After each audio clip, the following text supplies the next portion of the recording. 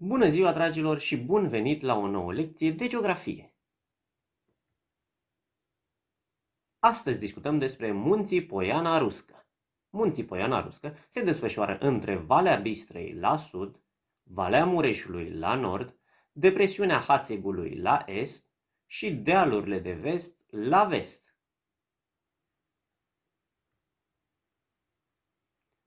Faptul că este înconjurat de culoare, de presiuni tectonice și de văi a făcut ca acest masiv să apară distinct, izolat de celelalte masive vecine.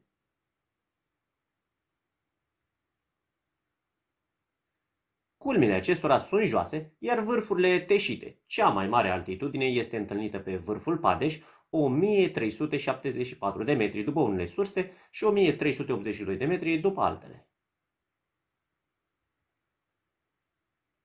Vedem în această imagine o priveliște de pe vârful Padeș.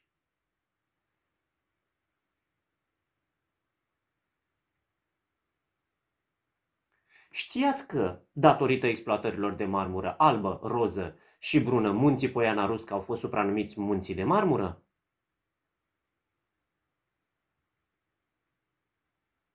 În afară de marmură, din munții Poiana Ruscă, se mai exploatează minereuri de fier, minereuri neferoase, cupru și complexe, dar și andezite. Pădurile de rășinoase sau de amestec rășinoase cu fag, care acoperă munții Poiana Ruscă, constituie o sursă importantă de venit pentru localnici și a permis dezvoltarea industriei de prelucrare a lemnului din zonă. Dragilor, acum vă propun rezolvarea unei sarcini de lucru. Folosind o hartă, un atlas, manualul sau internetul, identificați.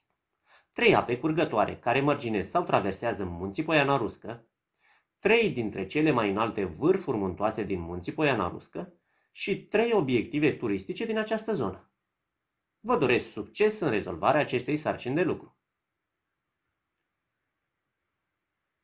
Dragilor, atât pentru astăzi. Nu uitați să vă abonați la canalele Educred Gimnaziu și Lecții Geografie Geographic Classes pentru a descoperi cele mai noi resurse educaționale deschise.